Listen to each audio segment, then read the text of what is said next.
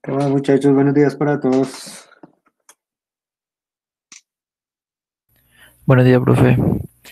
Buenos días, profe. Buenos días, profe. Espero que todos estén muy bien y que hayan disfrutado el fin de semana. Bueno, vamos a empezar con el llamado a lista. Porfa, entonces, para que contesten. Dayan Andrea Arias. Buenos días, profe, presente. Ok, gracias. Diego Alejandro Báez. Presente, profe. Bien. Kevin Mateo Cepeda. Buenos días. Buenos días, profe, presente. Perfecto. Paula Ayana Cuervo.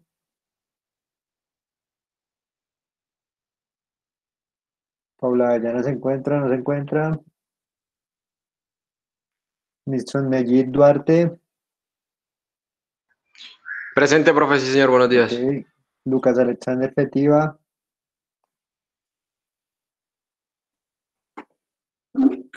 Lucas Fetiva está, no está. Adrián Steven Galvis. Profe Adrián me dijo que no puede asistir a la clase porque estaba fuera de Bogotá y hasta ahora está volviendo, profe. Ah, ok, gracias. Juan David Garzón Archuri. Acá, profe. Presente. Muy bien. Aníbal Ricardo Gordillo. Presente, profe. Ok. Sebastián David. Presente. Muy bien, Sebastián David Guzmán. Presente, profe. Er Felipe Hernández. Presente, profe. Muy bien. Erika Juliana Marín. Presente, profe. Jorge Alberto Miranda. Luis Alfredo Patiño.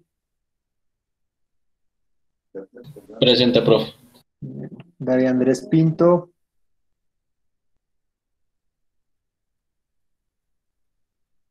David Pinto no se encuentra. Michael Andrei Rodríguez. Sí, profe, pero es que él tiene dañado el micrófono, David Pinto. Ah, ok, perfecto. Michael Andrei Rodríguez.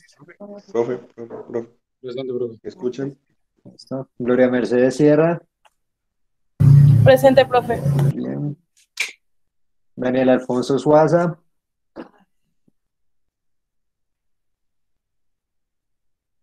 Daniel Suaza. Juan Pablo Balbuena. Presente. David Rodrigo Valdivieso. Presente, profe. Diego Sebastián Vargas. Presente, profe. Angie Paola Vargas. Presente, profe. Perfecto. Kevin Alejandro Zambrano. Presente, profe. Ok, muy bien, muchachos. Profe, qué pena. Profe, yo. ¿Quién habló? Yo, Paula. Paula. Paula Ayana Cuervo. Ok, perfecto. Bien. Yo también, profe. Lucas Alexander Fetiva. Listo, muy bien. Bueno, muchachos, entonces no sé si ya evidenciaron un poco lo que es la plataforma. Vieron el documento que tenemos como base para lo que es la sesión el día de hoy. El día de hoy es, el objetivo es que ya hagamos un acercamiento mucho mayor a lo que son los lineamientos curriculares establecidos por el MEN para lo que es la asignatura de educación física. Ahí ya logran visualizar mi pantalla, ¿no es cierto? Sí, señor, profe. Ok, perfecto. Entonces, si ustedes ingresan a la plataforma, ustedes pueden encontrar este documento, que como les venía mencionando, son los lineamientos curriculares para lo que es la asignatura de educación física por parte del Ministerio de Educación Nacional. ¿Sí? Entonces, ¿cuál es el objetivo de hoy? Que abarquemos este documento. Que ustedes ya tengan un acercamiento mucho mayor al documento y que nosotros ya nos adentremos para poder desarrollar lo que es el currículo, el plan de la asignatura de la institución en la que ustedes escogieron referente a lo que es educación física, ¿sí? Entonces ustedes pueden observar aquí el contenido correspondiente que se trabaja dentro de este lineamiento curricular. ¿sí?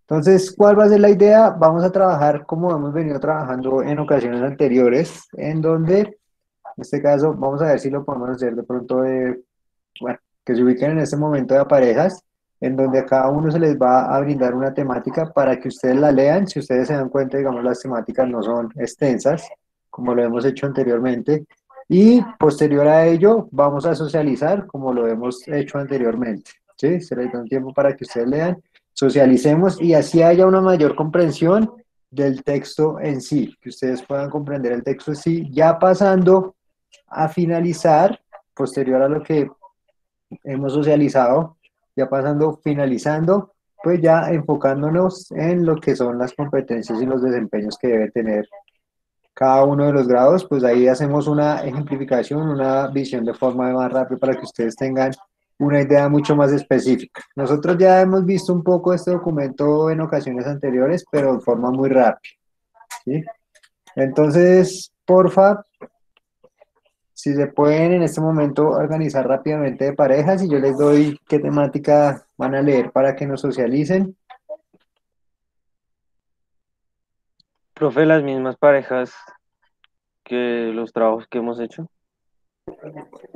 Ah, bueno, perfecto. Vengan a ver dónde los tengo por aquí.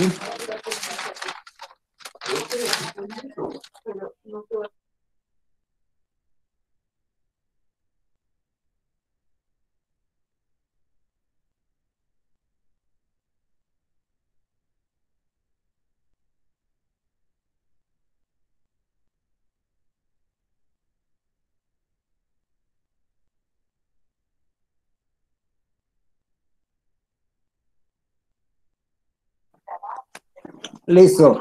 Entonces presten atención cómo van a ser las temáticas en este momento. Entonces lo que es la pareja de Daniel Suaza y Juan Balbuena van a tomar lo que es esta parte de la formulación de competencias. Vamos a hablar específicamente lo que es la competencia motriz, pero van a hacer una lectura breve de lo que es la formulación de competencias. ¿Listo? Entonces eso, Daniel Suaza y Juan Balbuena la competencia motriz como tal, que es Luis Patiño y David Valdivieso tomaría lo que es la competencia expresiva corporal. Perfecto. Gloria Sierra y Nixon Duarte van a leer sobre lo que es la competencia axiológica corporal. Entonces, tener en cuenta, porfa, pues nos enfocamos en lo que dice este documento, pero si pueden ampliar un poquito más de pronto la temática para que haya una mejor comprensión, tanto por otras fuentes, sería muy, muy bueno. ¿Listo?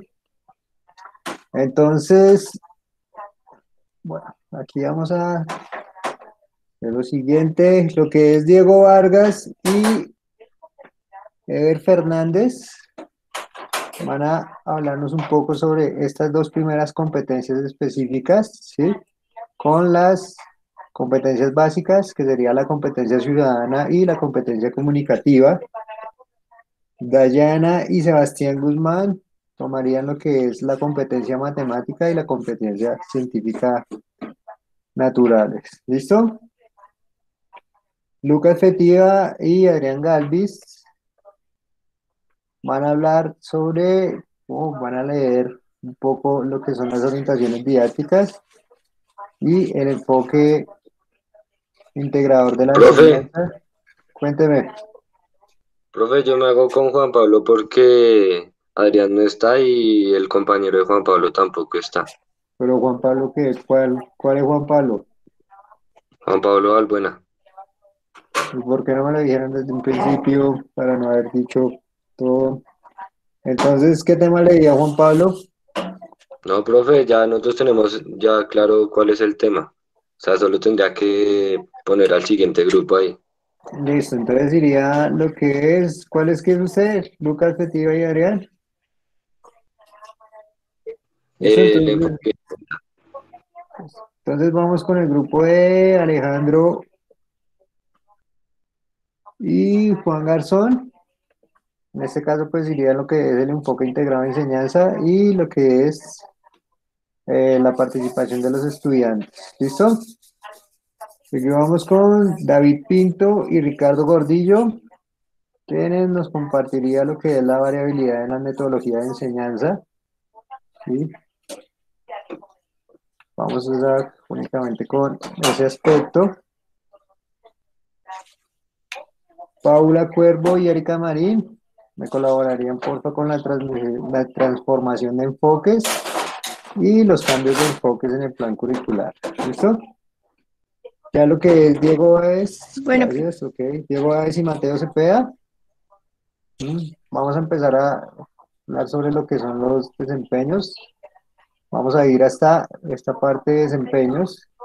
Y ya, ¿qué nos haría falta? Angie y Michael, porfa, para que, aunque ustedes son de forma individual, para que lean, porfa, lo que es esta parte de coherencia vertical horizontal y el ejemplo que se nos brinda, ¿listo? Y ahí ya, una vez hayamos compartido todos estos aspectos, nosotros pues miramos ya la ejemplificación que nos muestra acá el documento. ¿Listo? Cada uno tiene ya entonces clara cuál es la temática a leer para que socialicemos ahorita. Profe. Listo, perfecto. Entonces son las 9 y 26. Yo creo que con 20 minuticos que tomemos para leer eso estaría apenas. Perfecto, se dieron cuenta, cada uno tiene máximo dos páginas, por mucho, dos páginas, tres. Revisen porfa si pueden abrir el documento desde la, desde la plataforma. Si no, yo les paso el link aquí por, por medio del chat para que ustedes lo puedan mirar por internet. Yo ya les había mencionado que esos documentos son totalmente gratuitos y libres en internet, por si algo. ¿Listo? Entonces, porfa, revisen. Entonces son las 9 y 27, a las 9 y 47 empezamos la socialización. ¿Perfecto? Listo, profe. Listo. Entonces ahí el tiempo es todo suyo. Recuerden que aquí estoy presente si tienen alguna duda, alguna inquietud.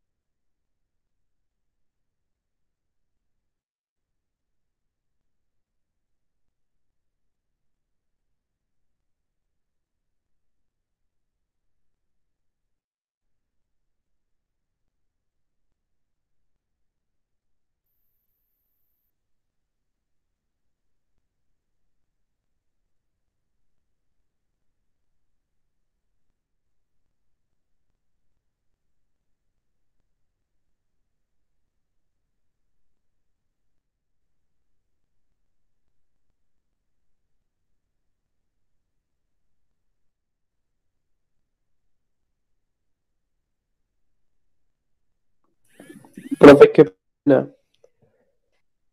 Eh, a mi compañero David nos tocó varia- variabilidad en la metodología de enseñanza y con el otro. Espere, verifico. Estaba aquí clavado en este Pero póngalo con sonido para que no oiga. ¿Se lo paso? No, ahí únicamente sería variabilidad. Aquí ¿Listo? descargando unos bananos. Cuéntame, yo por ahí estaba viendo una cosa que Listo, profe, muchas gracias. Y un compañero, Michael Rodríguez, eh, pues él se encuentra trabajando, entonces le entraron a una reunión. Ah, ok, perfecto. Entonces, pues si quiere el tema que le tocó a él, lo cogemos nosotros, profe, no hay problema. Para que, bueno, entonces para que le vean ahí que sería lo mismo que le tocó a Angie, entonces lo que es eh, la coherencia vertical y Ah, horizontal, el que, el que me mandó usted. sí, y el ejemplo de coherencia vertical y horizontal, para que ahorita por favor, que algo lo compartan, ¿listo? ¿Cómo? No, ya.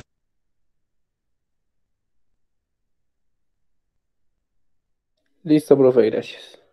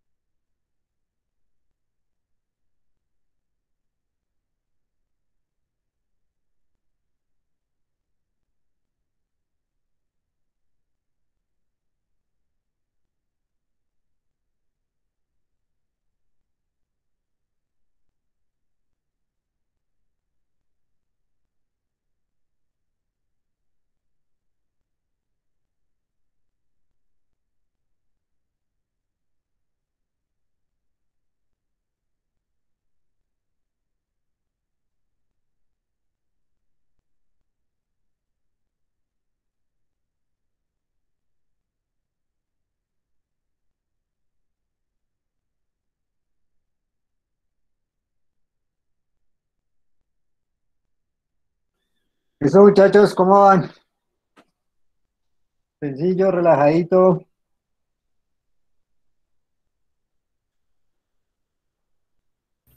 Tranquilo, profe. Entonces, bueno, vamos a dar inicio, vamos a empezar a socializar, ¿listo? La temática pues que le corresponde a cada uno para que empecemos a tener una mejor comprensión sobre lo que es los lineamientos curriculares de, de educación física, recreación y deporte. ¿Listo? Entonces, pues vamos a empezar con Juan Pablo Balbuena y Lucas Fetiva. Entonces, para que porfa nos compartan el aspecto que ustedes leyeron. Y el entendimiento que nos den una explicación de lo que ustedes comprendieron. Entonces, adelante, por favor. Listo, profe. Eh, bueno, a nosotros nos correspondió pues la formulación de competencias específicas. Aquí lo que nos habla en general es cómo se tienen unas competencias específicas, pero a la vez generales, y las cuales tienen como, como algo en algo similar, o sea, las dos deben contener lo que es la acción, la acción en la cual nosotros le, se va a desarrollar el niño. Eh, nos habla de mm, que el, el desarrollo y la apropiación de competencias específicas. Eh, entonces esto nos dice que un ejemplo puede ser la corporeidad, en donde mm, esto juega un papel importante, ya que el, el propio cuerpo va, va a adquirir un conocimiento y no va, y no va a meterse tanto como que es un objeto, sino por el contrario, eh, va a tener conocimiento que el cuerpo tiene un sentido eh, en el mundo y también se puede dar con, con la relación con los demás. Eh, también nos habla de que eh, hay dos frases, la cual una es ser que es movido, o sea, el ser que es movido, que esta es la que le va a dar el profesor, o sea, las indicaciones que le va a dar el profesor.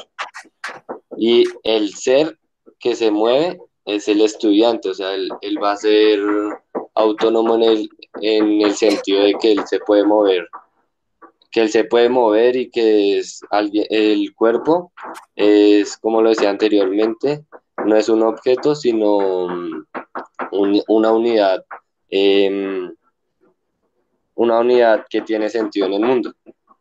Em, el- también nos habla que el juego es una parte esencial para, la, para el aprendizaje em, y en la existencia humana.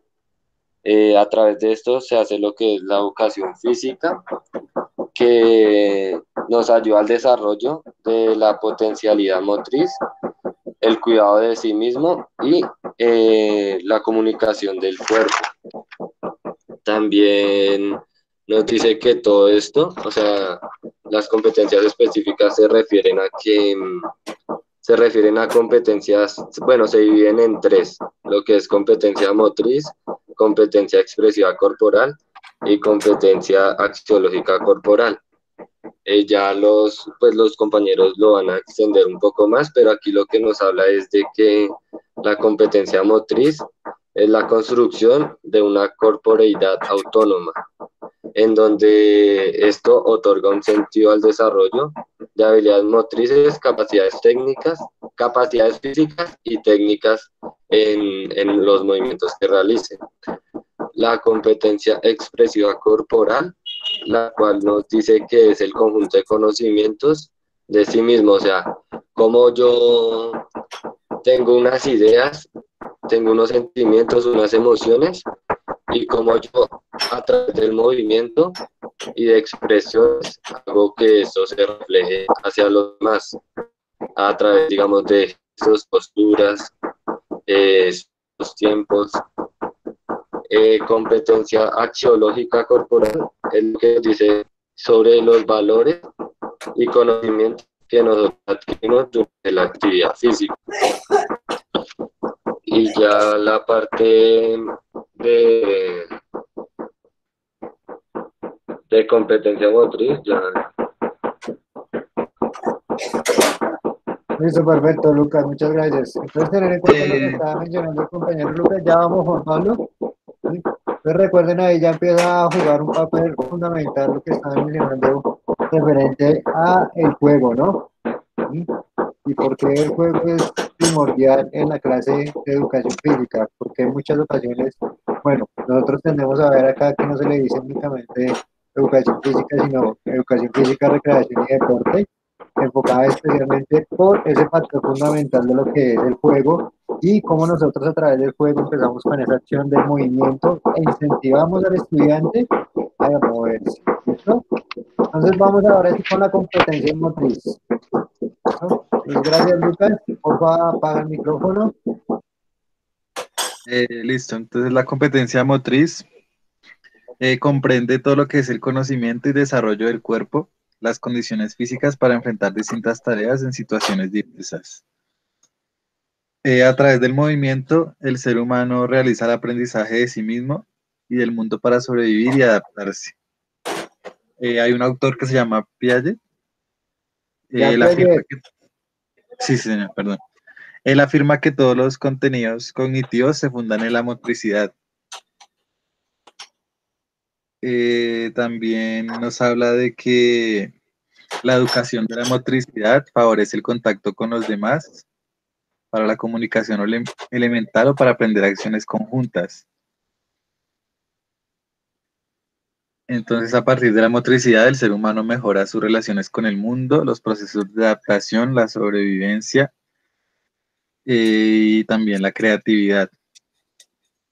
También habla de técnicas del cuerpo y el movimiento, que nos dice que las técnicas del movimiento, del cuerpo y del movimiento no son momentáneos, sino son algo que se encuentra en lo cotidiano, en la vida del ser humano.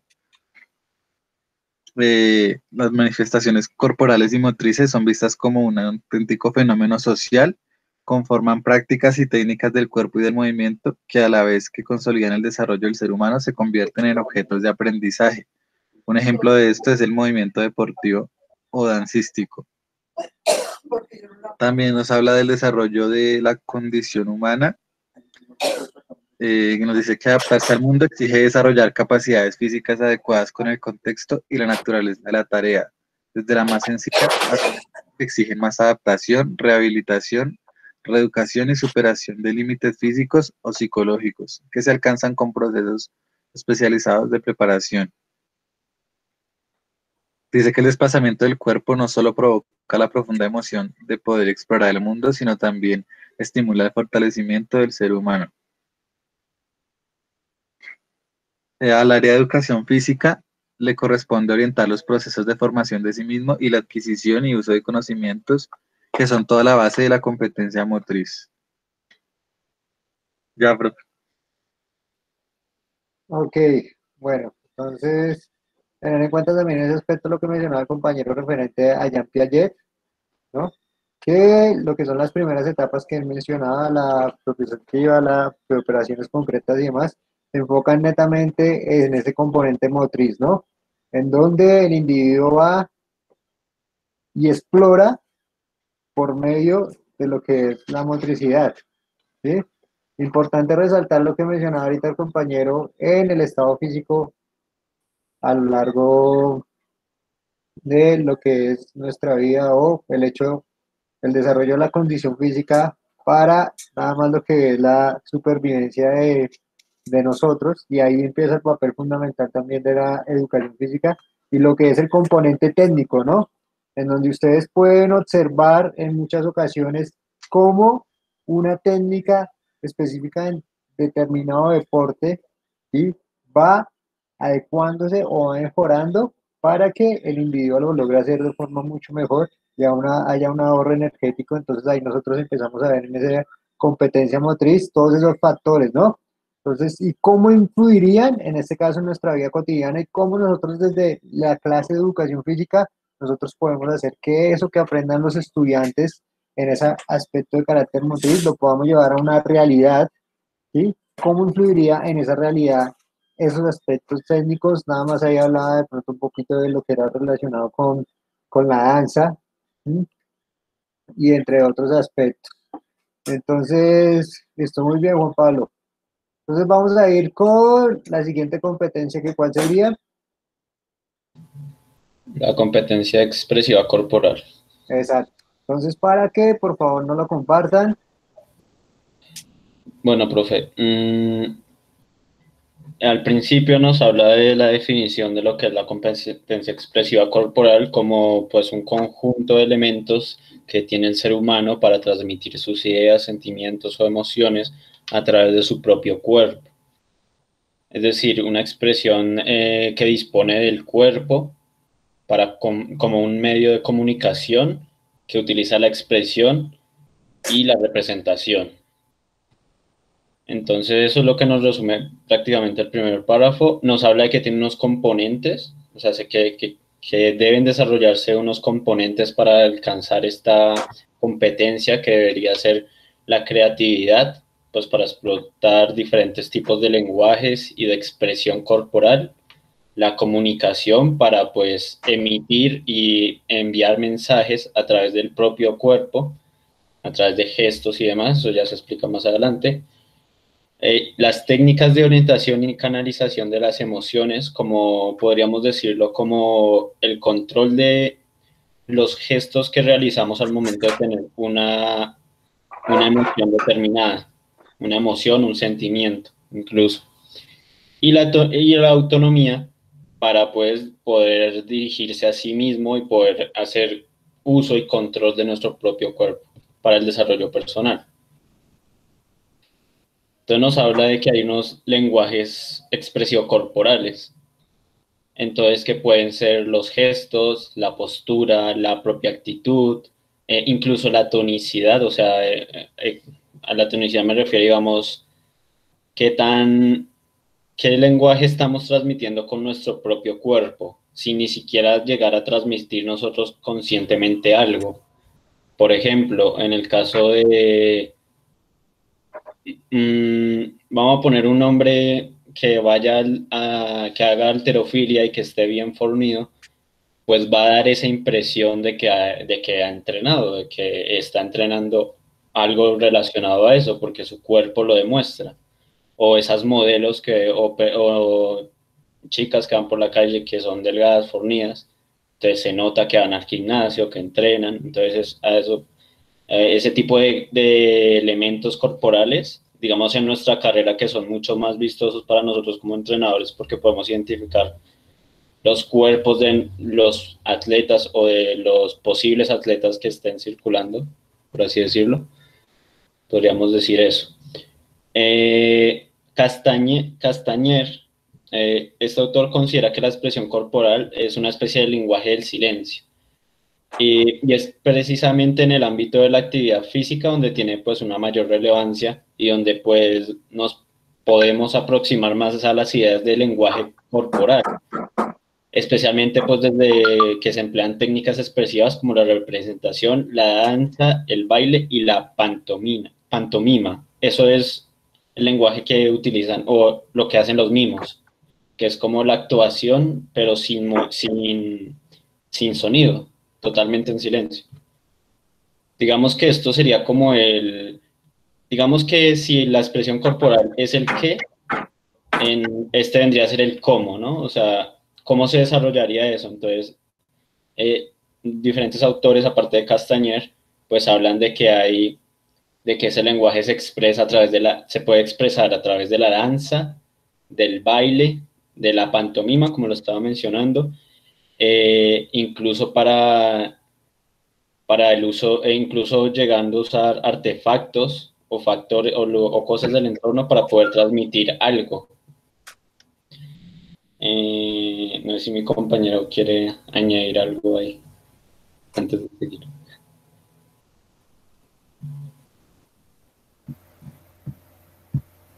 Eh, bueno, pues también nos hablaban eh, de unos factores de espacio y tiempo. eh, y pues nos decían que el espacio es el lugar donde nos movemos y pues se vive en orientación espacial. Y el tiempo pues es la forma de conciencia de la realidad, de la existencia.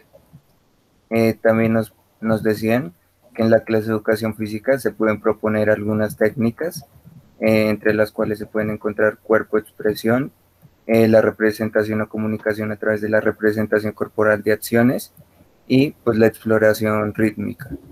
Eh, también decían que en las prácticas motrices, recreativas y deportivas eh, de la expresión corporal se puede dar gran utilidad también para lo que puede ser gozar con la espontaneidad, realizar movimientos inusuales, eh, imaginar o representar los movimientos que se desean antes de su ejecución. Incluso, bueno, ya para acabar, antes se me olvidó mencionar algo muy importante y es que habla de unos ciertos ítems. Entonces, digamos, hablan de ítems importantes para el desarrollo de ese acto comunicativo, como lo es el gesto, que el gesto permite transmitir o comunicar a otros una especie de ánimo, una especie de estado. Por ejemplo, digamos en el deporte, aquí lo menciona, la finta.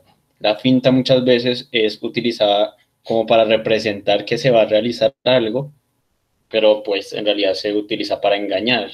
Engaño a mi rival para que piense que voy a hacer tal acción provoco una acción del rival y luego cambio mi acción. Sería el gesto.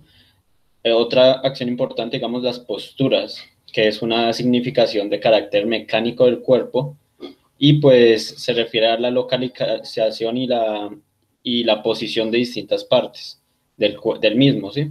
Entonces, digamos, por ejemplo, eh, eso puede dar a entender una acción de una persona, digamos, al realizar una posición básica para la recepción del balón en voleibol.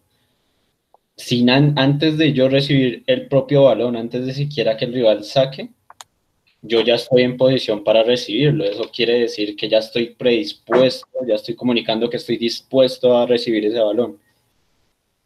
Eh, también la respiración y la relajación eh, como últimos componentes son elementos que permiten pues incidir en estados de tensión, de relajación y pues facilitan la expresión corporal, el gesto y pues la propia postura. Y ya. Ok, muy bien, perfecto. Entonces, por lo general, cuando nosotros hablamos de, este, de esta competencia expresiva corporal, si ustedes lo denotaron, pues hacemos un poco de referencia a lo que es danza, el baile, el teatro, ¿sí? Eh, como vieron, pues harían mayor referencia a ellos, pero también estamos hablando de lo que es implícito el deporte, ¿no? Ya como se menciona, pues es un aspecto de, expresión, ¿sí? En donde nada más volvemos a traer, bueno, con relación a lo que estaba mencionando ahorita el compañero, lo que era la finta y todos esos gestos que nosotros brindamos durante el deporte, que también nos ayudaría a involucrar o mirar cómo se encuentra el deportista o el estudiante en determinado aspecto es un aspecto de carácter fundamental, más específicamente en lo que son las primeras etapas de, de desarrollo del individuo, porque ahí ya él se logra empezar a, a reconocer o a conocer en sí mismo y da a entender nada más al resto de las personas cómo es en sí él como tal, ¿no? Entonces, bueno, muy bien por los aportes que nos acaban de brindar. ¿Listo? Vamos con lo que es la competencia axiológica corporal. ¿Quién la tenía en ese caso? Eh, nosotros. Listo, sigan por favor. Listo. Cuando básicamente nos referimos a competencias axiológicas corporal, en primera instancia estamos tomando el cuerpo humano y pues de una u otra manera el cuidado. Cabe resaltar que nosotros como sociedad en muchas ocasiones eh, nos preocupamos quizás más por eh, aspectos alejados o o sí muy independientes de nuestra salud. Y es aquí donde surge pues un inconveniente grande que manifiesta, eh, de que, bueno, que deja de lado, ¿no? El cuidado, la higiene, y es donde el componente axiológico hace su énfasis. Básicamente es donde retrif o sea, donde hace el, el, punto fuerte. Y es el siguiente, el cuidado de sí mismo, interacción social, el cuidado higiénico, cultura, eh, perdón, el cuidado higiénico pero hacia aquí a la parte de abajo mencionan algo que nosotros traemos como, como, como una copia de lo que son las culturas occidentales. Entonces, eh, cuando indague un poquito más, eh, a, averiguar sobre la cultura occidentales, en esos lugares no se preocupan tanto como por el baño, como por el aseo, sino son personas como más despreocupadas, pero lo hacen es por el tema también de salud y por las condiciones del plan, o sea, de las condiciones donde vive porque pues se les dificulta el agua, la temperatura pues relativamente bajo cero, en condiciones pues que definitivamente no se pueden dar el lujo de bañarse todos los días, ¿no? Pero entonces aquí hacen el, el énfasis directo en eso, en, el, en los valores y, y las virtudes de la cultura, cuidado y preservación, los valores sociales, el respeto al medio ambiente, reconocer y valorar el cuerpo, el cuidado de sí, los hábitos y el estilo de vida saludable. Siempre quieren dejar como ese hincapié hacia la cultura del cuerpo. El cuerpo, eh, y aquí hacen también, o sea, en la lectura hacen, tocan como una palabra que me pareció muy curiosa y es que el cuerpo olvidado en la educación. Como lo podemos ver, para nadie es un secreto, hoy en pleno siglo XXI, las personas quizás deberíamos de estar más atléticas, o sea, las personas de un entorno y de una cultura tienen que estar más sanas. Es al contrario, hemos visto que la tecnología y múltiples factores externos eh, han, han llevado y van a seguir llevando el cuerpo a un sedentarismo y a unas condiciones malas de salud. Entonces es donde hace como el, el énfasis en que cuiden el cuerpo y adicional de cuidar el cuerpo, mantenerlo aseado y pues limpio a su, a su vez. Gloria, continúa.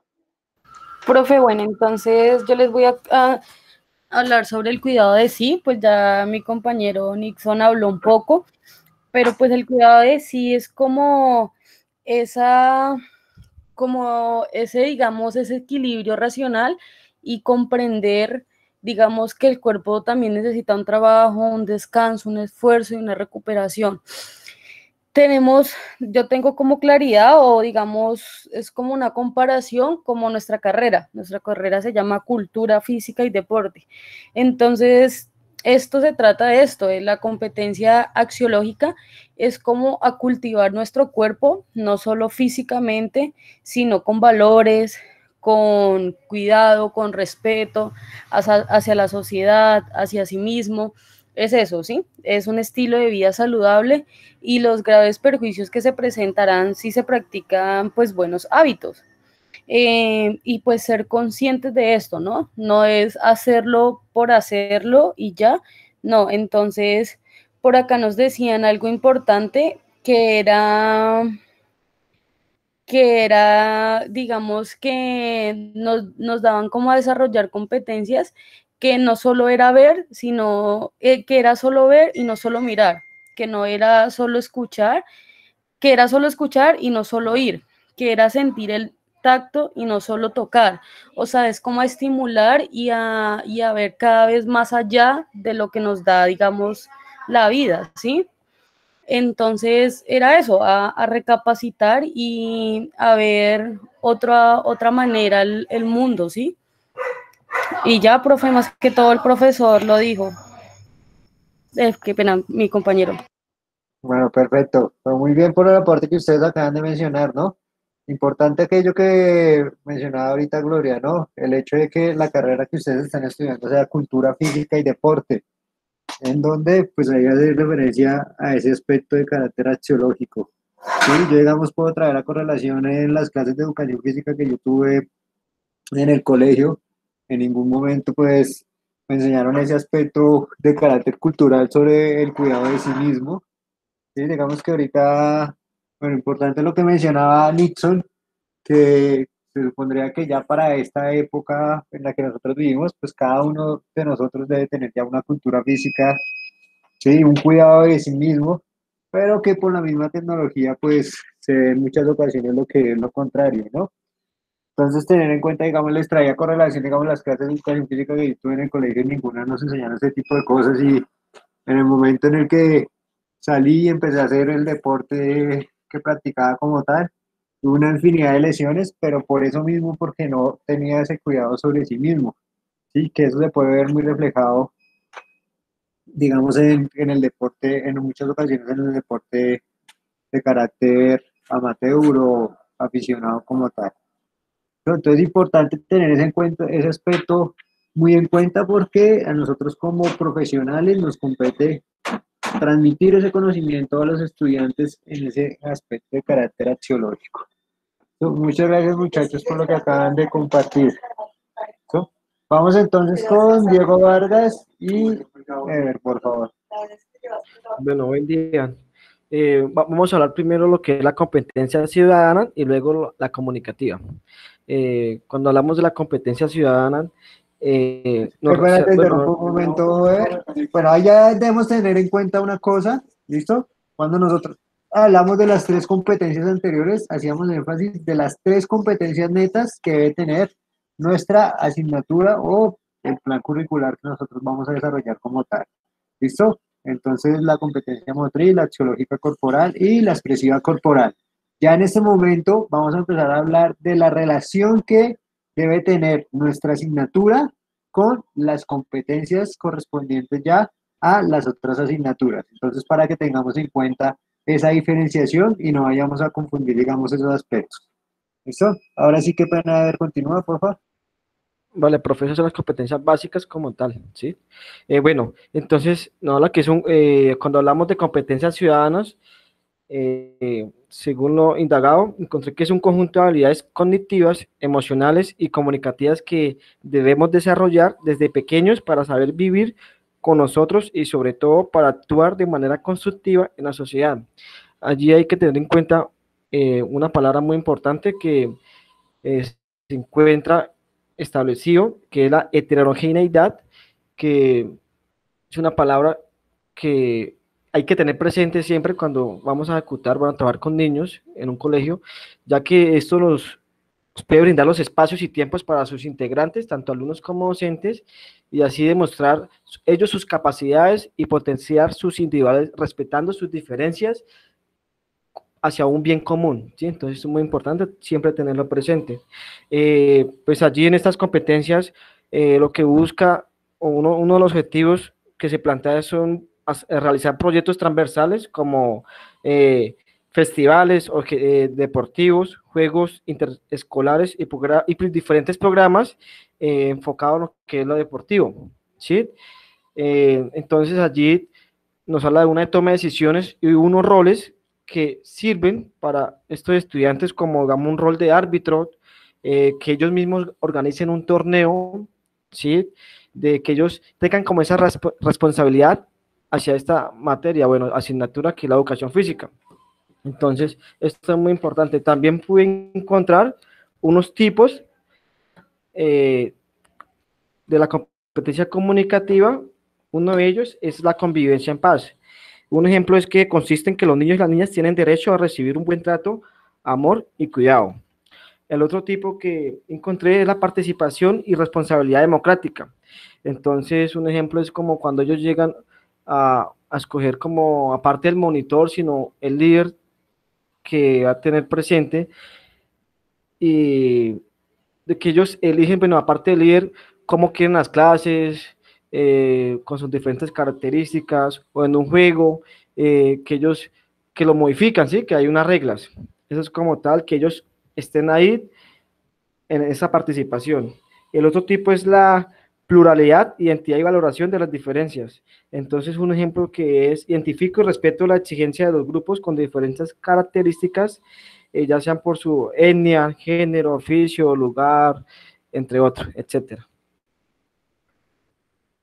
Continúa, compañero. Listo. Bueno, ya dentro de las competencias comunicativas, acá se le da como un valor eh, de manera eh, general al movimiento corporal, ya que digamos el movimiento corporal abre espacios para la, la producción de nuevos lenguajes eh, de manera corporal que se pueden aplicar en diferentes prácticas, eh, hablando pues de manera general en, en un espacio donde se pueda expresar o digamos por medio de juegos, ¿sí? Entonces, esta, digamos, el- las competencias comunicativas lo que hacen es generar eh, conocimientos o saberes, ser los procesos de socialización y creación. Esto se hace de una manera para que se busque una mayor interacción social y se tenga un nuevo conocimiento, digamos, de, de aprendizajes. Entonces, pues digamos, un ejemplo de las competencias comunicativas puede ser, eh, hablando del movimiento corporal, eh, las personas que hablan con, con señas, ¿sí? que se expresan netamente eh, con señas. O digamos cuando se aplica en, un partido de microfútbol, básicamente cuando no se quiere, digamos, hablar para que el oponente sepa lo que uno está diciendo, los jugadores, digamos, utilizan eh, lenguajes con señas donde pues dicen cómo van a marcar al jugador, cómo van a poner el balón. Entonces, básicamente, esto es lo que nos habla las competencias comunicativas. Poder expresarnos de otra manera y nos, eh, no siempre tiene que ser, pues, así normal. Ya, pro. Ok, muy bien, perfecto. Entonces, tener en cuenta esos dos aspectos, esas dos competencias, cómo nosotros lo podemos relacionar desde nuestra clase de educación física para los individuos, nada más lo que es la competencia ciudadana con el ejemplo que brindaban, o sea, cómo nosotros nos vamos, vamos a enseñar al individuo que se comporte dentro de un contexto cultural, un contexto ciudadano, únicamente con lo que mencionaba el compañero de realizar un torneo y agendarle un rol diferente a cada uno de los estudiantes para que ese torneo salga totalmente bien, que es lo que haríamos nosotros ya en un contexto real. Y el aspecto comunicativo, como lo venía mencionando, ahí nosotros ya tendríamos a correlación también la competencia de expresión corporal, ¿no? Entonces, ¿cómo nosotros podemos relacionarla para que nos llevemos ya a un contexto de carácter real? Muy bien, muchachos. Entonces vamos con Dayana, porfa, y Sebastián.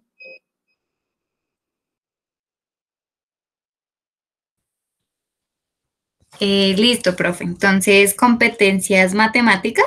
Entonces, la relación que tiene la educación física de recreación y deporte. eh, bueno, con relación a las matemáticas es que se produce de carácter motriz, sensomotriz, de las primeras nociones temporoespaciales, de forma, tamaño, distancia, y, se, y, se, y seraciones las cuales posibilitan las condiciones para el desarrollo y el pensamiento matemático, pues ya sea del niño.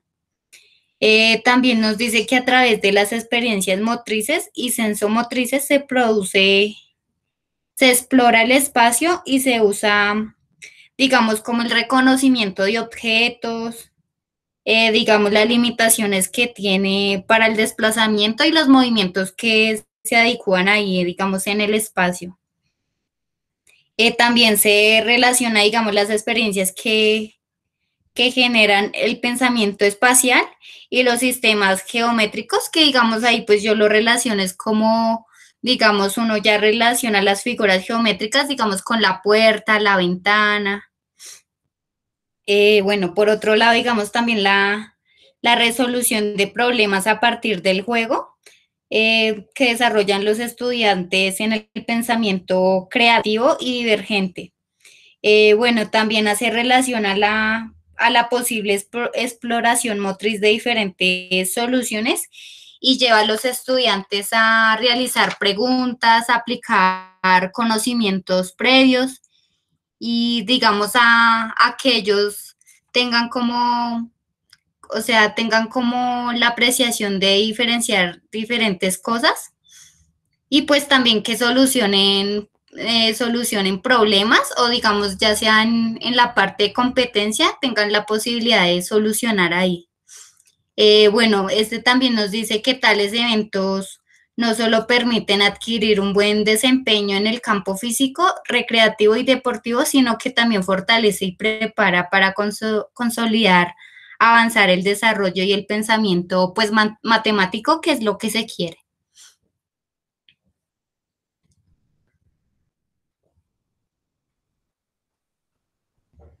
Ok, muy bien, Dayana.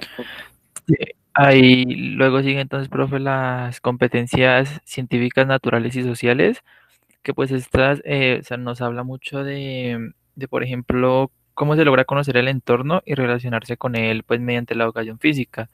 Eh, un ejemplo claro es, por ejemplo, cuando hay, eh, la redundancia, cuando hay como eh, salidas, muchas veces salidas pedagógicas, eh, o por ejemplo cuando se debe ir a un parque o a, un lugar natural eh, para practicar deporte. Otro ejemplo, de pronto ya en el entrenamiento más de élite o en el deporte más de élite, pues es digamos como cómo se aprende a reconocer mucho el clima, ¿no? El clima, las alturas, que todo esto hace parte pues de las ciencias naturales ¿no? Cómo se siente eh, más el entorno, los terrenos, sí, que no es solo como, por ejemplo, la expresión corporal, sino también el entorno natural eh, donde se desarrolla.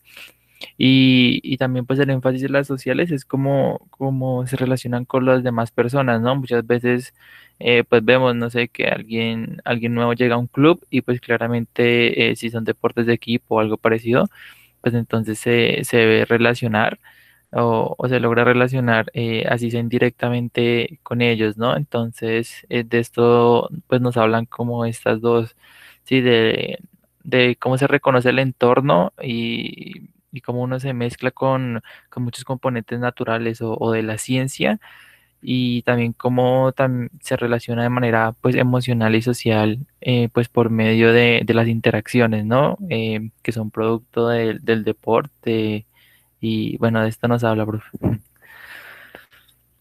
Ok, perfecto. Entonces aquí ya vemos estas competencias y su relación que debe tener con la educación física o la educación física, la relación que debe tener con estas competencias y cómo nosotros, por medio de lo que es la educación física, la recreación y el deporte, vamos a desarrollarlas, ¿no? Claros ejemplos que nos mostraban ahorita y que nos comentaban los compañeros, nada más el hecho de el medio ambiente en el que nosotros vamos a entrenar, ¿sí? Un ejemplo podría ser nada más lo que es la altura, ¿sí?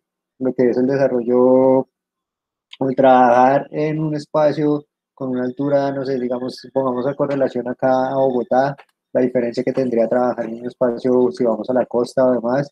Lo que mencionaba también Dayana en el aspecto de cómo nosotros podemos interrelacionar lo que es o desarrollar esa competencia matemática a través del deporte, ¿sí? O la educación física. Nada más cuando ustedes están en un gimnasio, podríamos traer la correlación eso y hacer la ejecución o el test de, para un RM y ahí colocar cuántas repeticiones y demás.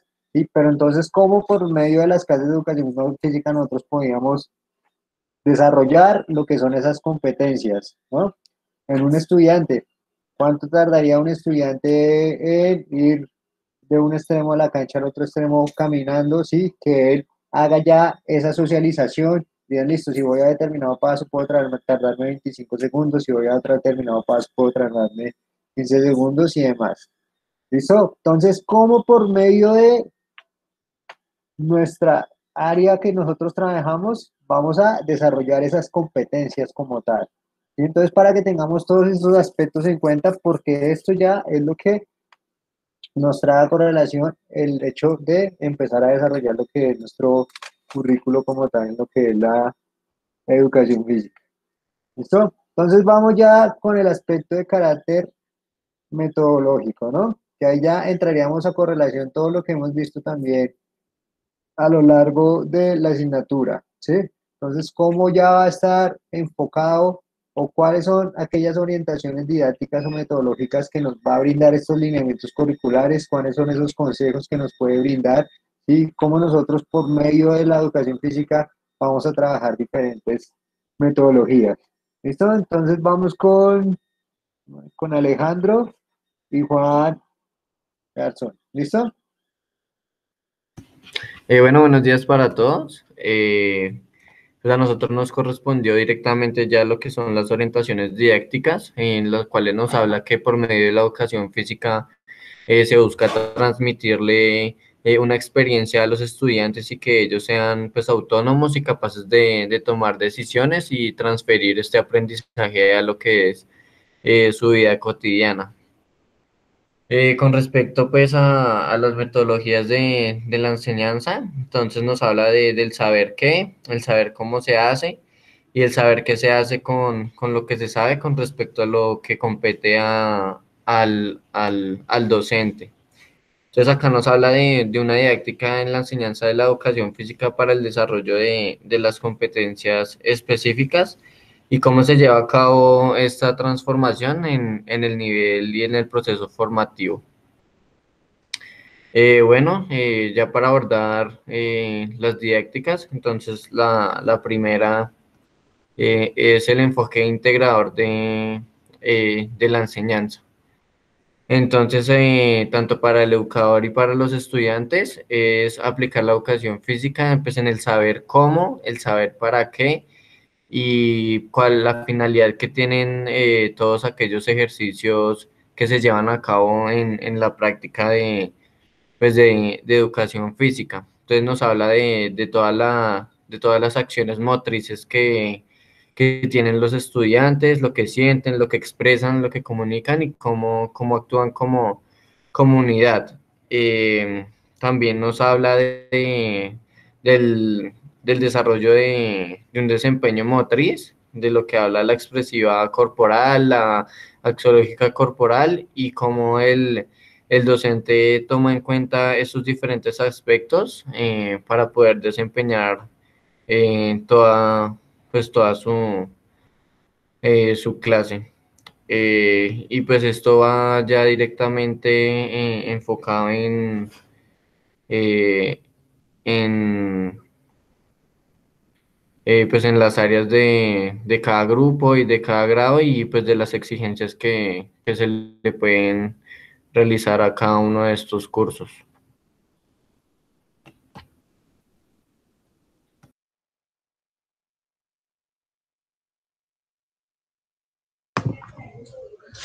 Bueno, profe, eh, en cuanto al segundo tema, que es la participación del estudiante y el, y el papel propósito del maestro, esta ya nos habla como la finalidad que tiene la educación física, la recreación y pues el deporte hacia los estudiantes, eh, principalmente es que sean dependientes, que los, que los estudiantes sean activos, que tengan una iniciativa y sobre todo que sean autónomos, ¿sí?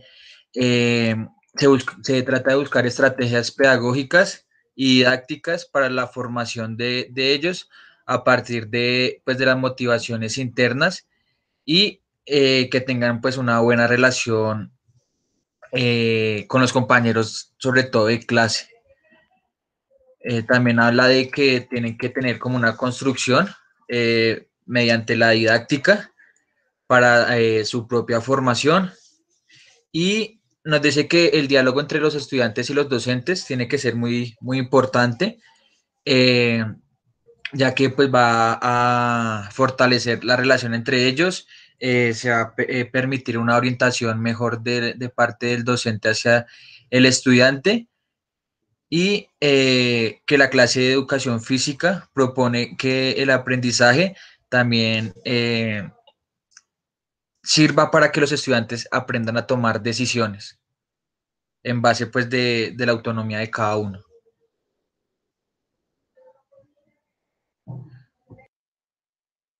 Ok, de pronto algo más que, que adherir.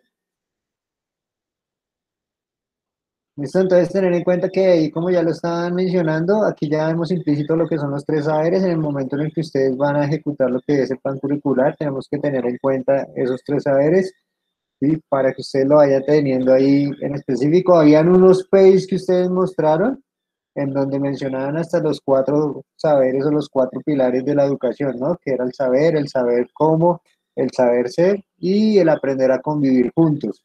Entonces, ¿cómo ya estarían implícitos desde la clase de educación física y cómo nosotros empezaríamos a utilizar esas estrategias de enseñanza para que nuestro estudiante, que ahí ya lo mencionan por parte de la educación física, ¿sí? sea un ente de carácter activo, diré, más no pasivo, que tenga una participación activa en el proceso de enseñanza-aprendizaje. Que allá podemos traer a correlación los, eh, las estrategias metodológicas que nosotros ya habíamos visto y en donde nosotros podríamos, habíamos mencionado cómo podíamos ver esas metodologías de carácter interactiva y activas dentro de la sesión de educación física. ¿sí? Cómo nosotros en ese proceso de enseñanza-aprendizaje tenemos que enfocarnos hacia ese lado, más no hacia lo que es, lo que mencionaba ahorita el compañero, que el estudiante fuera un ente de carácter dependiente, sino que en este caso que sea un ente de carácter participativo y que tenga una parte activa dentro de ese proceso de enseñanza-aprendizaje. ¿Listo? Muy bien. Entonces, vamos con lo que es David Pinto y Ricardo Gordillo, por favor.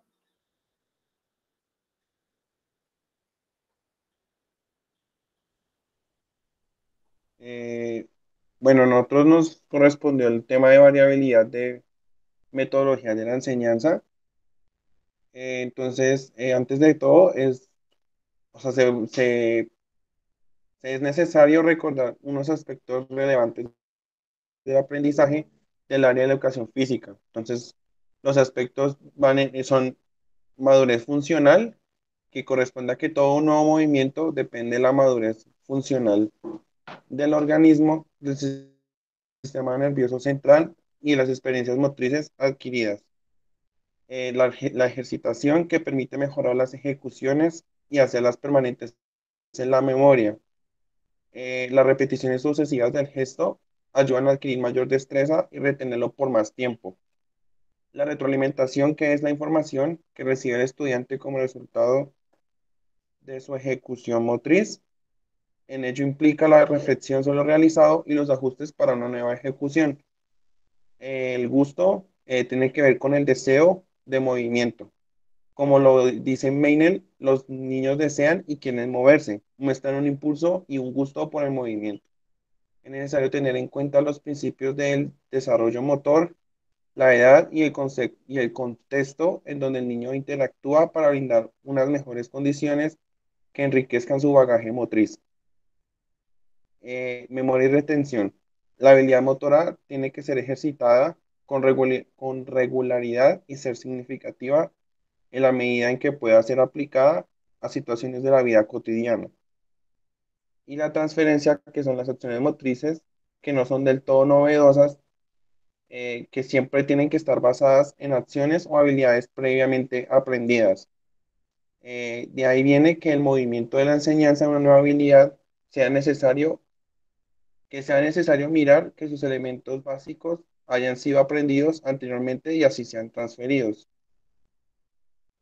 Eh, no sé si Ricardo quiere decir algo.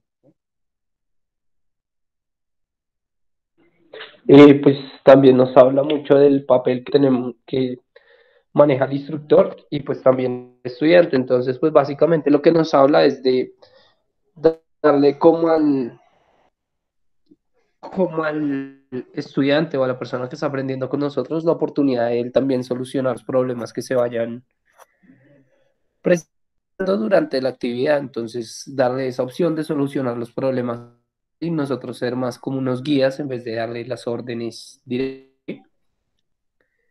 Hablamos más de eso, también de un autor que es Maston, que es que mostremos el camino para avanzar. Eh, y listo, pues básicamente nos habla de eso, ser un poco nuestra autoridad como educadores y darle al estudiante una manera mejor de desenvolverse.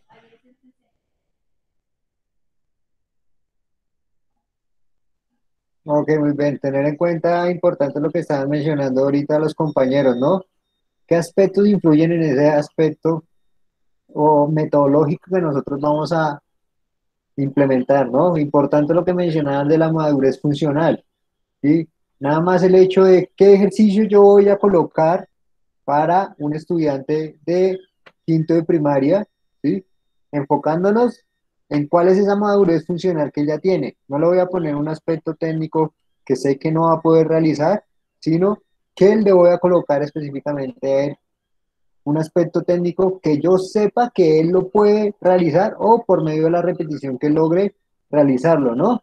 Importante un aspecto que mencionaron aquí fundamental, el hecho de la retroalimentación, que eso se tiene que ver en todo el aspecto de carácter deportivo y recreativo, ¿no? Nada más en el aspecto deportivo se puede ver muy enfocado en todos los gestos, bueno, traigo correlación lo que son los gestos técnicos en este momento, ¿sí? Solo el hecho de la retroalimentación para evidenciar si la persona lo está haciendo bien o no lo está haciendo bien, y cuáles son esos aspectos que debe mejorar o cuáles son esos aspectos que debe ya perfeccionar como tal. ¿Cómo vamos a transferir nosotros ese conocimiento? Importante lo que mencionaban ahí, cómo nosotros transferimos esas acciones motrices, ¿sí? De lo que son las acciones motrices que ya tenemos desarrollados a unas acciones motrices de carácter nuevas y novedosas. ¿Cómo nosotros podemos hacer esa transición de esos aspectos? Cuando nosotros empezamos a ver un deporte y ya le metemos otros aspectos de carácter más difíciles, y cómo nosotros podemos hacer esa transferencia como tal. Entonces son aspectos que debemos tener muy en cuenta. Muy importante lo que les mencionaba el compañero anteriormente, que se los acaba de mencionar ahorita, es la madurez funcional, que ahí entraríamos nuevamente a, podríamos traer a correlación lo que son las etapas de Jean Piaget, ¿no? Entonces, para que lo tengan ahí en cuenta en el momento en el que nosotros vamos a hacer, bueno, ustedes ya vivieron el hecho de realizar una planificación y ahí ustedes ya podían tener en cuenta lo que era esa maduración del individuo en el momento que ustedes desarrollaban los ejercicios como tal, ¿no? Entonces vamos a ver, bueno, lo que es la transformación de enfoques, porfa, los que les competen. A mi profe. Eh, bueno, entonces la transformación de enfoques, procesos, procedimientos y técnicas de evaluación. Entonces, pues aquí nos habla de que esta estructura de aprendizaje transforma los conocimientos, los procesos, los procedimientos y las técnicas de evaluación. Y también, pues, transforma la, forma que, en cómo los sujetos o los, eh, pues, niños, digámoslo así, o estudiantes eh, asumen los alcances de ese aprendizaje. Eh, nos habla, pues, que hay diferentes competencias y que cada una pues debe tener una, un progreso y debe ser graduada y orientada pues hacia la definición de cada uno de esos procesos y de esas evaluaciones que se quiera realizar pues para eh, evaluar digamos que el, proceso o el progreso de la, de la competencia y que esto pues debe tener, eh, tiene dos técnicas, ¿no? Que son las de carácter cualitativo y las de carácter cuantitativo las cuales se pueden evaluar a corto, a mediano y a largo plazo. Entonces, pues nos dice que eh, esto, digamos que nos ayuda a poder orientar, digamos, el proceso educativo cuando eso sea necesario y pues ver si los estudiantes realmente están logrando los desempeños que se proponen en la competencia o no. Em, nos habla que la aplicación de esas técnicas cuantitativas eh, pues no se trata solamente de, un, de tener un punto de vista hacia los desempeños de cada competencia, sino también a tener como un reconocimiento de los factores subjetivos del, del alumno, como son, por ejemplo, las competencias emocionales, las expresivas y las que implican las técnicas por parte de ellos que son cualitativas y los procesos de interpretación del aprendizaje. Y pues eh, hablando como desde la perspectiva de, pues del área de la educación física, la recreación y el deporte, dice que mm, hay una perspectiva como para evaluar y unas formas de evaluar, pues diferentes a otras competencias, pero que también pues son válidas. Entonces, pues que aparte de tener un cuaderno, se puede llevar un diario de campo, eh, técnicas de, observación, uso de videos y fotografías, narraciones, eh, registros anecdóticos, eh, listas de control, fichas de autoevaluación, de coevaluación, cuestionarios, escalas de observación, fichas de tareas, pruebas motrices, pruebas de habilidad. Y bueno, pues ya, que eso sería como la evaluación eh, útil o correcta pues para esta área y para este desarrollo de esta competencia. Listo. Eh, a mí me correspondió los cambios en los enfoques de la planeación curricular. Entonces, pues dentro de lo que yo entendí, no sé si estoy equivocada, es básicamente, o sea, el desarrollo de las competencias implica que se realice un cambio en la planeación curricular. Digamos que este cambio de la planeación se hace con el apoyo del, del contexto sociocultural eh, además de eso, también se tiene en cuenta la caracterización de los estudiantes, eh, también la visión integradora y pues la relacional de la enseñanza. También eh, hay algo muy importante dentro de esto, que es el papel participativo de los estudiantes en su ruta de, su propio aprendizaje. Entonces, básicamente es como si el estudiante, en este caso, es el, lleva el papel principal. Eh, ya dentro de esta línea, digamos que se abre un poco de paso a la perspectiva del diseño curricular. Entonces, este diseño curricular es de carácter problemático y pues investigativo. Eh, la idea de esto es como generar proyectos que sean flexibles y que sean dinámicos para los alumnos. Y este proceso formativo se ve y se lleva a cabo desde preescolar hasta la, hasta la educación media. Eh, ya en esta parte nos nombra como unas competencias específicas. Aquí ya es donde entra la educación física, la recreación y el deporte. También encontramos las competencias básicas, las ciudadanas, las matemáticas, las comunicativas y las científicas. Entonces, para poder relacionar estas competencias, eh, pues se dice que es necesario formular y desarrollar proyectos transversales y esto es, la idea es que estos proyectos transversales posibiliten el trabajo escolar, pues como entre todas las diferentes áreas. Listo. Ok, perfecto, muy bien, las dos. Entonces, tener en cuenta en el aspecto de evaluación todo lo que estaba mencionando ahorita Paula, ¿no? Ahí ustedes también lo pudieron ya identificar de pronto en las planificaciones mismas que ustedes realizaron, cómo nosotros por medio de la asignatura de educación física o por el ente del deporte, tendemos a realizar unas evaluaciones que pueden ser totalmente diferentes de las evaluaciones convencionales, ¿no? Ustedes pudieron ahí ya identificarlo cuando ustedes realizaban los criterios de evaluación, como lo estaba mencionando ahorita la compañera, que nos enfocábamos en muchas ocasiones en evaluaciones de carácter cualitativas, ¿sí? en donde nosotros tomábamos por medio de la observación, nosotros ya empezamos a evaluar lo que está haciendo el estudiante como tal y nos enfocamos, bueno, aunque hacemos evaluaciones de carácter cuantitativas, podemos mencionar que las cualitativas tendrían un papel mucho más fundamental. Y lo que estaba mencionando ahorita también la compañera Erika, importante tenerlo en cuenta, nada más esa flexibilidad que nosotros debemos tener en el plan curricular o la planeación curricular al momento de desarrollarla, ¿sí? por ese contexto que nosotros hablamos de el contexto sociocultural. Ustedes identifican ya entre los PACE que ustedes escogieron, ¿sí? ya cada una de las planificaciones o de, las, de la planeación curricular que ustedes vayan a desarrollar empieza a ser diferente nada más por ese contexto sociocultural que ustedes escogieron. Nada más, habían unos colegios que eran únicamente de carácter femenino, como habían otros de carácter mixto. Ya ahí empieza a haber una diferenciación para que nosotros tengamos esa flexibilidad en lo que es el, la planeación curricular como tal. ¿Listo? Muchas gracias ahí por ese aspecto. Entonces vamos con Diego Aes y Mateo Cepeda, porfa. Nos colaboran cuál era la temática que ustedes leyeron para que la socialicen. Eh, buenos días a todos. Eh, el, tema que nos correspondió son los indicadores de diferenciador por grupos de grados y desempeños.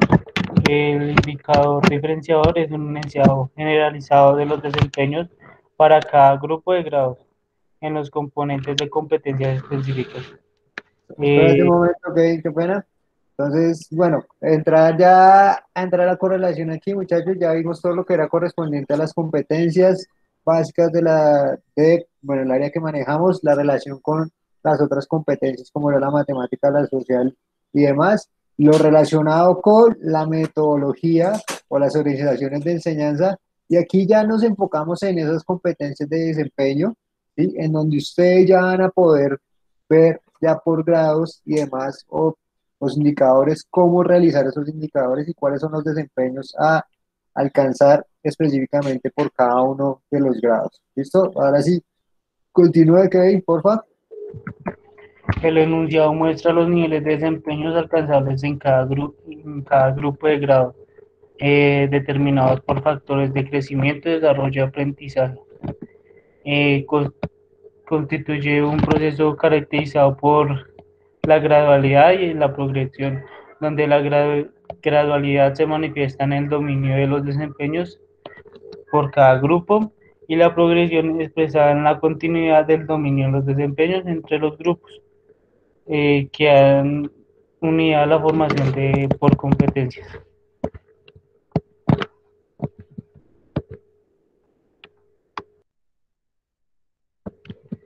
Ya en la parte de los desempeños, el estudiante demuestra el nivel de desarrollo de la competencia a través de sus desempeños. Eh, manifiesta comprensión del sentido, habilidad en la realización y la actitud ante el conocimiento. Los desempeños son la manifestación observable y evaluable del estado del desarrollo de una competencia y se construye como unidades de aprendizaje que posibilitan su formación y evaluación. No sé si mi compañero quiere agregar algo más. Eh, bueno, pues la formulación de las competencias espe- específicas eh, pues implica su enunciado de manera independiente, pero integra la totalidad y la unidad del ser humano. Eh, nos da un ejemplo, la actividad motriz es correspondiente a la misma competencia motriz, a la expresiva y a la axiológica corporal. Y ya pues nos muestra un, un, un cuadro de grado quinto, de grado cuarto a quinto. El profe que lo tengo por acá, acá, eh, donde pues nos dice que el indicador identificador es identificar las diferentes técnicas expresivas para la manifestación corporal y, y, pues ahí donde dice que la competencia es la competencia expresiva corporal y ya donde los, los componentes son los lenguajes corporales y nos dice que los desempeños es y identificó técnicas de, de expresión corporal que llevan a la regulación emocional en situaciones de juego y actividad. Eh, también reconozco y ejecuto danzas y prácticas lúdicas de tradición regional con lenguaje verbal. Yo lo tomé más como que el indicador identificador es como ese objetivo general y ya los desempeños son los objetivos específicos.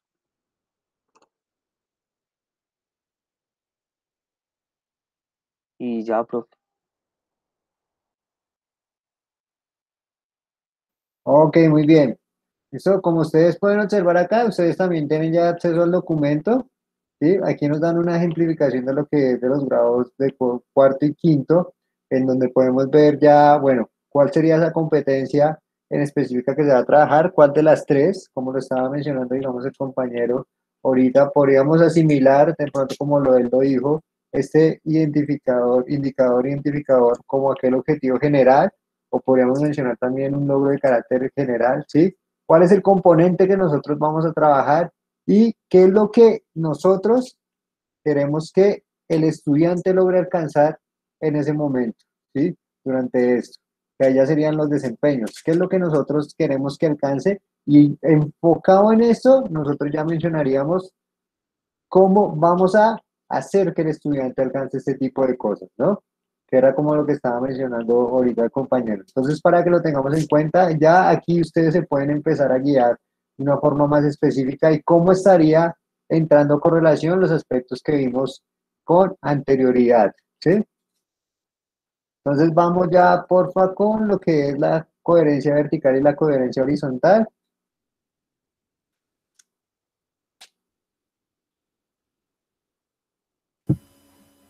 Eh, bueno, profe, pues la coherencia vertical nos habla de que los desempeños de un grado eh, involucran el, el grado anterior, pues para mostrar la progresión y la evolución de, del estudiante y pues lo que ha visto. En la coherencia horizontal vemos que la relación entre desempeños de la competencia, eh, existe una relación entre esos desempeños y la competencia como tal específica. Eh, nos dan un ejemplo que es el, cuadro que usted está plasmando. Entonces nos dice que un ejemplo en la competencia motriz componente, en el, en el componente del desarrollo motor, en la verticalidad nos muestra eh, la evolución que va teniendo el niño siempre en esa, en esa competencia del desarrollo motor. Entonces, en el primero vemos que explora las posibilidades del movimiento del cuerpo a nivel global y segmentario, en, en grado de primero a tercero. De cuarto a quinto ya controla lo que vio en el grado anterior y realiza movimientos ya, ya más técnicos y más específicos. Eh, ya digamos en la parte horizontal, digamos de primero a tercero, eh, se va viendo como toda la consecuencia y todo el desarrollo que va teniendo o que lo que tiene que aprender el niño en esos grados.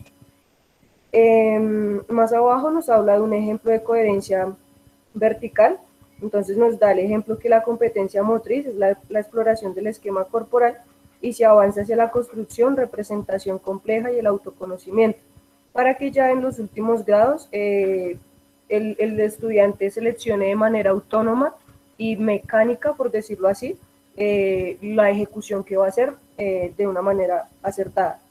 Y el ejemplo de coherencia horizontal, pues ya nos habla que en los primeros grados eh, la competencia motriz, la expresión corporal y la axiológica corporal se encuentran, digamos, en, en coherencias de acuerdo a las características de crecimiento, desarrollo y aprendizaje que tiene cada estudiante.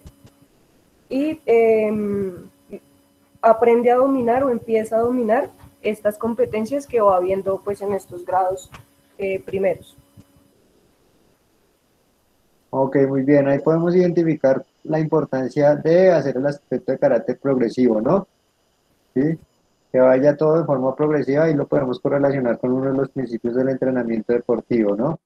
Entonces, como lo estaba mencionando aquí la compañera, nada más vimos lo que es, bueno, este cuadro para que ustedes lo tengan, que es un cuadro de carácter, de carácter importante para que ustedes lo tengan en cuenta en el momento en que ustedes desarrollen lo que es el plan curricular.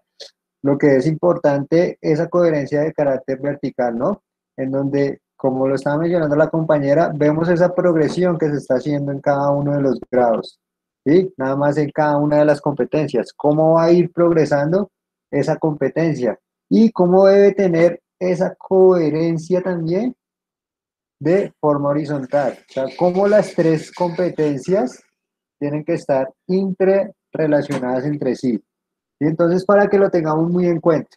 No sé si hasta el momento ustedes tengan alguna duda, alguna inquietud referente a todo lo que se ha mencionado en este momento, referente a este documento que hemos visto, lo que ustedes han socializado.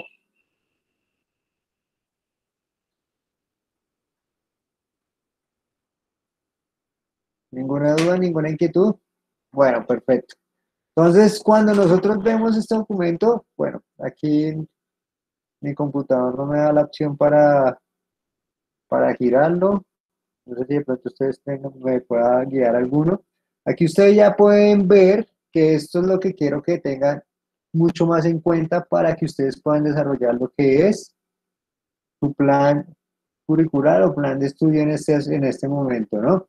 Entonces aquí nos muestra todos los aspectos y las competencias que nosotros tenemos que ir mejor, eh, desarrollando dependiendo de los grados que nosotros vamos a trabajar como tal, ¿sí? Entonces aquí hablamos de lo que va del grado primero hasta el grado 11. Si ustedes logran identificar, pues aquí tenemos lo que son las tres competencias, la competencia motriz, la competencia axiológica corporal y la competencia expresiva corporal como tal. ¿sí? Ahí ya vemos las tres competencias, lo que hablábamos ahorita de los desempeños que se van a trabajar en cada una de ellas, ¿sí? el desempeño de carácter general, los desempeños de carácter específico, ustedes lo pueden observar acá, ¿sí? ¿Y cómo estaría nosotros, bueno, cómo nosotros podemos tomar en cuenta estos cuadros para ya desarrollar lo que son nuestros planes de carácter curricular. ¿sí? Esto es una gran guía, que es lo que les mencionaba, esos lineamientos, esos caminos por los cuales nosotros nos vamos a guiar. ¿sí? Nosotros podemos tomar diferentes rumbos, pero siempre y cuando nos, no nos salgamos de todo esto que hemos visto con antelación y lo que se está viendo acá. Nada más pues observar, bueno, aquí traigo una ejemplificación de lo que es la competencia axiológica corporal, ¿sí? Aquí, ¿cuál sería, digamos, el, el, desempeño como tal que vamos a desarrollar? Bueno, identifico las normas y principios establecidos para la realización de las prácticas propias de la actividad física, y qué es lo que nosotros queremos desarrollar en el estudiante, el cuidado de sí mismo y cómo lo vamos a desarrollar, que ahí hablaríamos de esos desempeños de carácter específico, ¿no? Entonces, la aplicación de las recomendaciones sobre la higiene corporal antes, durante y después de la actividad física, cómo esto va a tener una coherencia de forma vertical, bueno, que es que aquí estaría horizontal ya que no lo puedo voltear, y cómo tendría que estar correlacionado también de forma horizontal. Entonces, para que porfa cada uno de ustedes en este momento, en el documento que se tiene, echen una chequeadita, revisen, miren, miren, aquí ustedes pueden observar, está lo que es desde grado segundo hasta grado 11, para que ustedes ya vayan teniendo una idea de qué es lo que ustedes tienen que trabajar en cada uno de esos grados, qué es lo que ustedes tienen que empezar a desarrollar en cada uno de esos grados. ¿Cómo se diferencia del grado pre al grado post, por mencionarlo así? ¿Y qué es lo que yo tengo que empezar a trabajar para poder realizar ese plan de estudio? Entonces, por favor, para que revisen ahí cada uno en su PC de forma rápida, para que vayan mirando. Ya tienen abierto de pronto el documento.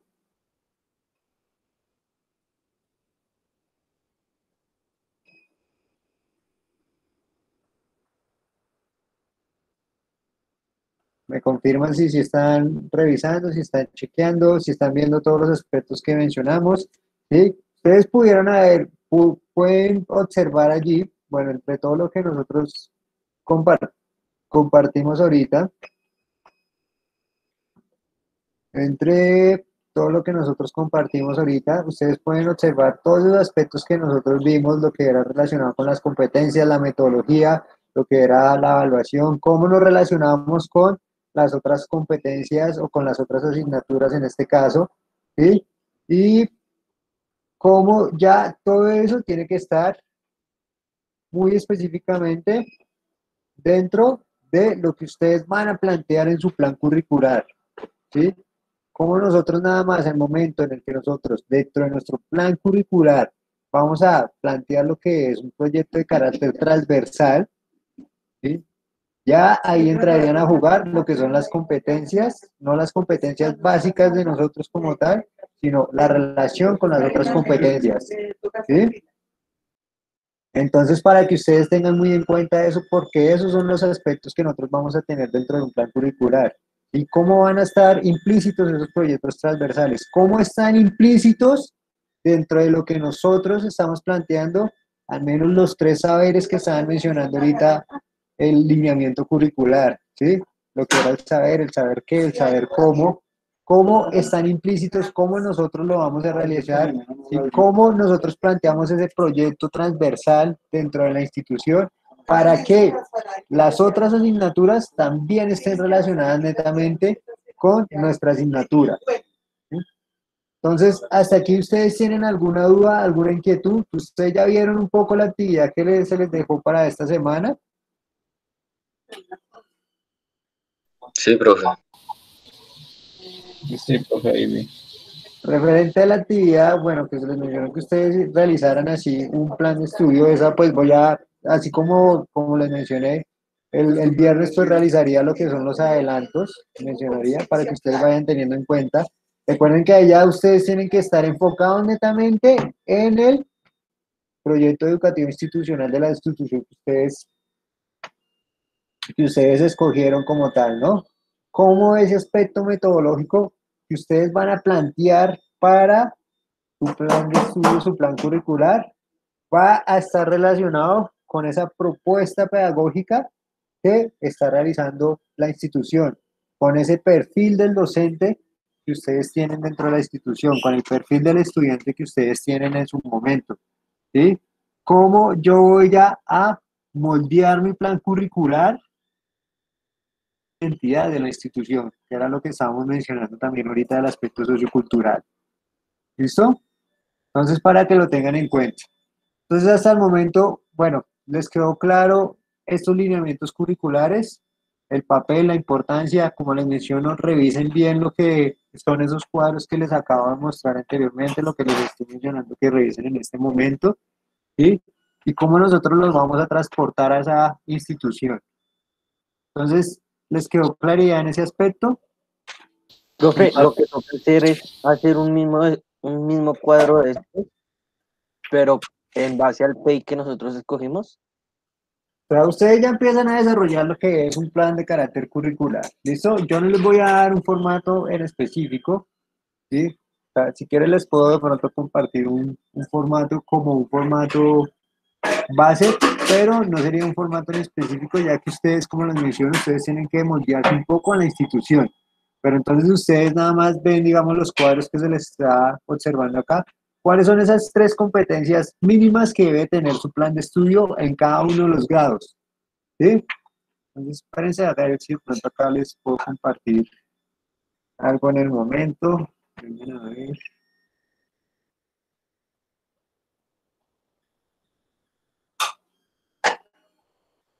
Dame un momentico, por favor.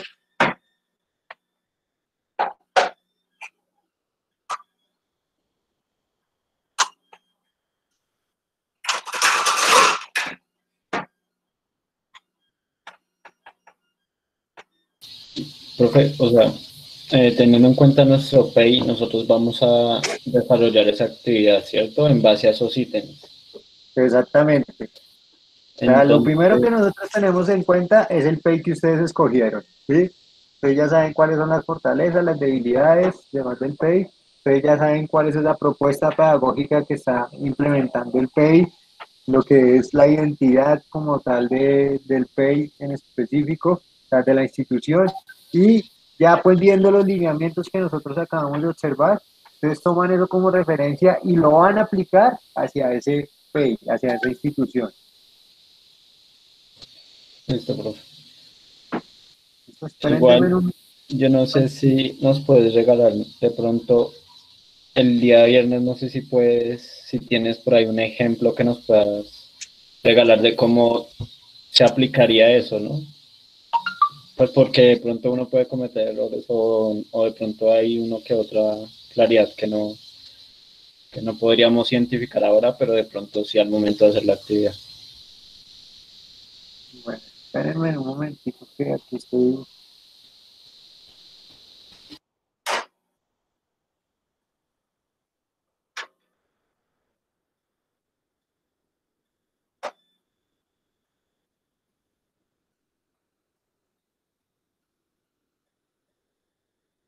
Ah, bueno, ustedes deben tener en cuenta también cómo se trabaja en la institución, si trabaja por trimestres, si trabaja por periodos, ¿sí?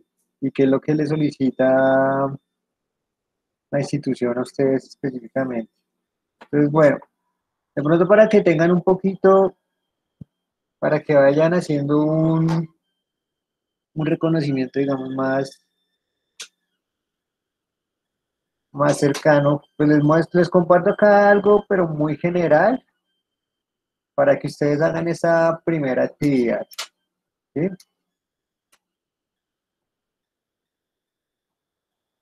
Entonces aquí les comparto, ahí logran visualizar, me confirman por favor. Sí, profe. Sí, señor. Ok, perfecto. Digamos que esa es una malla curricular de carácter sencilla de una institución, ¿sí? En donde pues la idea es que ustedes primeramente, bueno, ya, les voy a pedir otros aspectos, pero con esta actividad que les, les, les coloqué que realizaran pues un plan sencillo de lo que es el grado primero y segundo, ¿sí? Entonces para que tengan en cuenta, digamos, como una guía podría ser esto que les estoy mostrando acá, ¿sí? Entonces, bueno, ¿cuál es el propósito de formación de carácter general que ustedes van a trabajar? El, proce- el propósito por los ciclos, ¿sí? Entonces, recordar cómo trabaja cada una de las instituciones, si es por trimestre, si es por periodos, qué es lo que ustedes quieren ver en ese momento, dependiendo del grado que les compete en ese instante, ¿sí? ¿Cuáles son los contenidos que ustedes van a trabajar ya enfocándonos en los cuadros que estábamos viendo anteriormente? ¿sí? Digamos, si yo voy a trabajar acá lo que es el acondicionamiento físico, pues digamos que sería mi contenido de carácter general durante este primer trimestre. ¿Cómo? Ahí, bueno, ¿cuál grado estaríamos aquí mencionando? Lo que es el grado sexto. Entonces, ahí, ¿cómo estaría implícito lo que es el componente, la competencia motriz, lo que es la competencia de expresión corporal, la competencia exológica corporal, lo que les mencionaba también de esa parte transversal, cómo estaría relacionado con las otras competencias, ¿sí? Digamos nada más, pues aquí mencionan de lo que es la salud física, la salud emocional, los hábitos de salud, cómo estarían ahí ya relacionados con esos proyectos de carácter transversal, miren, digamos los hábitos de, de aseo, las posturas ergonómicas, ahí ya podríamos ver también la parte relacionada con la parte, bueno, aunque se ve poco lo que es la parte matemática, ahí ustedes pueden también traer a correlación lo que se mencionaba del aspecto ciudadano, ¿sí? Entonces, para que vayan teniendo una idea ahí de carácter más sencilla, para que ustedes puedan desarrollar esa primera actividad. ¿Listo? No sé si tengan alguna otra duda, alguna otra inquietud. Eh, que por ejemplo ahí dice que para grado primero y segundo, pero entonces los dos pueden ir en un mismo cuadro o es un cuadro para cada uno. En este momento, pues lo ideal sería que hicieran un cuadro para cada uno. Ya, ustedes pueden, acuérdense de lo que se hablaba ahorita de la coherencia vertical. Ustedes hacen un cuadro para cada uno, pero ustedes podrían coger, digamos, grado primero y grado segundo. Podrían coger los tres primeros desempeños para el grado primero. Un ejemplo, digamos, los tres primeros desempeños de la competencia motriz para el grado primero y los tres siguientes desempeños para el grado segundo de la competencia motriz. ¿Listo? Listo, profe. ¿Alguien más tiene dudas, inquietudes? ¿Nadie? Ok, muchachos, entonces si no tienen inquietudes y dudas, pues finalizamos la sesión el día de hoy y nos reunimos el viernes para que ustedes, por favor, compartan ese adelanto que ustedes han realizado ya referente a lo que es ese plan curricular. ¿Listo? A esa actividad que se les dejó para esta semana. ¿Listo, muchachos? Vale, profe. Profe, qué pena. Es que se me corrió el día por el festivo y no subí la actividad del domingo. La iba a subir ayer y ya estaba cerrado. ¿Será que hay posibilidad de podértela enviar en otro lado o, o de habilitar la plataforma? Eh, miro. ¿Hasta cuándo tenían plazo de hacer el PODA? Hasta el domingo, creo que era.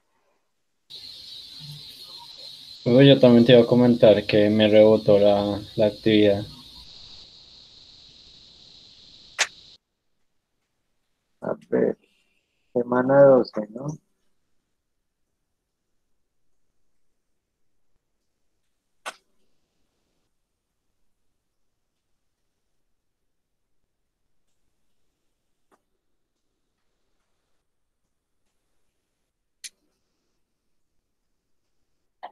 Ah, bueno, si tenían plazo hasta el 2 de noviembre. Entonces, vamos a hacer una cosa, se los voy a habilitar hoy hasta el mediodía para que lo suban en este momento, ¿listo? Perfecto, profe, gracias.